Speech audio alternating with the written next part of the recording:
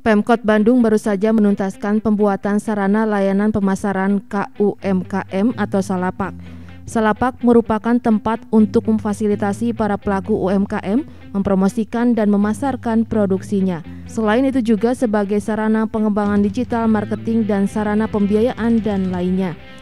Pelaku UMKM pun diberi pelatihan dan pendampingan.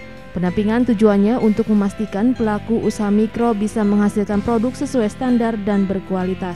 Pemkot Bandung pun mengupayakan peningkatan kemitraan dan jaringan usaha kecil dan menengah serta pembukaan akses pasar yang luas sehingga dapat terhubung dengan ekosistem digital marketing dan market supply chains.